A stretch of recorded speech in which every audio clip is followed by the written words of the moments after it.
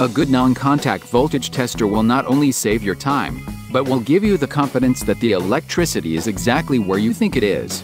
A quality voltage pen will work on a wide voltage range and give both visual and audible feedback when voltage is detected. The best voltage sensors will even let you know when they're not working.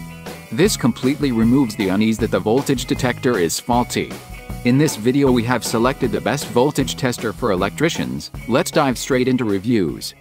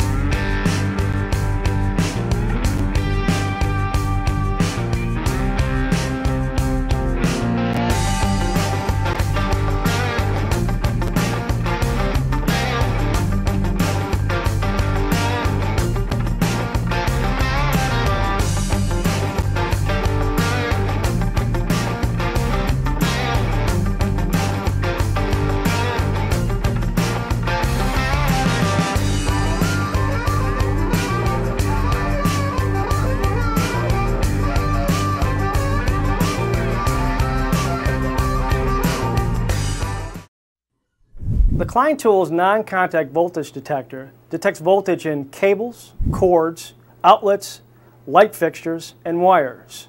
Now it's made of a durable plastic construction, it's lightweight, it easily fits in my pocket, and it also has replaceable AAA batteries. Now it has a simple on-off button, and the bright green LED illuminates when the tester is operational. Now when the tester does detect voltage, the LED goes from a bright green to a red, and it also has warning tone sounds. And in case you forget to turn the tool off, it has an automatic shut-off.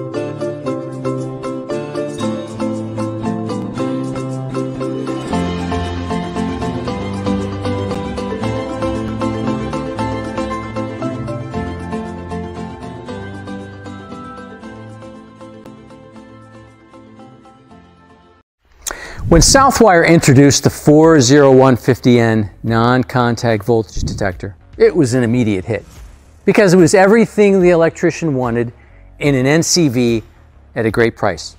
Competitors are still trying to catch up. I mean, the 40150N is robust, it's safe, and it's still the best value in NCVs. First of all, it's robust.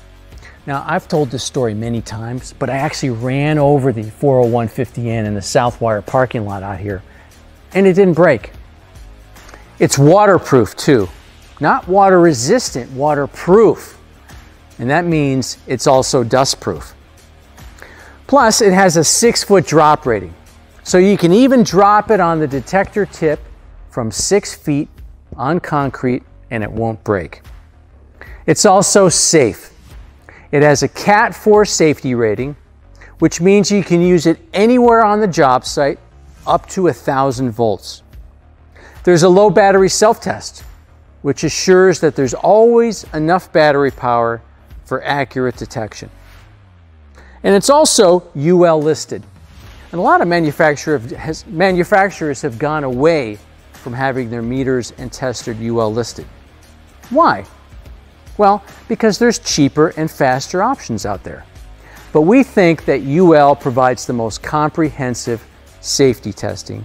And so Southwires made a commitment that all of our meters and testers will be UL listed.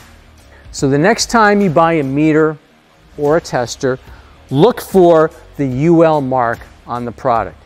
You'll always find it on Southwire meters and testers. The 40150N is also the best value on the market because it's packed with great convenience features. It has two flashlights, right? One on the front and one on the back. And I challenge you to find another NCV with two flashlights. One flashlight's in the front, so it always illuminates the area where you're detecting voltage. I mean, that's a great safety feature. It also has a very powerful LED flashlight on the other end with a bright, focused flashlight. So there's no need to carry around an extra flashlight on the job. It has two voltage modes, so it even works great in low voltage applications. And there's even a silent mode. So if you're working in a school or an office building, um, you don't have to have the, the beeping bother, possibly bother your customers. So the next time you're in the market for a non-contact voltage detector, check out the Southwire 40150N. It's robust, it's safe, and it's backed by a UL listing and a five-year no-hassle warranty. The Southwire 40150N non-contact voltage detector.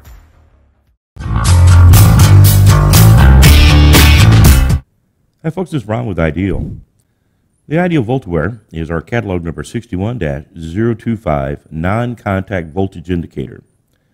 Electricians and maintenance professionals use it to identify if voltage is present in an electrical circuit. It indicates the presence of voltage from 40 to 1000 volts AC and can quickly indicate if power is turned off in a circuit without having to expose yourself to live conductors. It detects the changing electrical field around hot conductors and does not need to make direct contact to bare conductors to achieve this. This sleek compact voltage indicator is designed for the electrical contractor and is Cat 4 rated. It can identify hot versus neutral or ground conductors, breaks in the line of a hot conductor, or to indicate that power is off at receptacles, switches, inside electrical panels, or anywhere along the length of a conductor. To use the Voltaware, twist the tester body to the on position.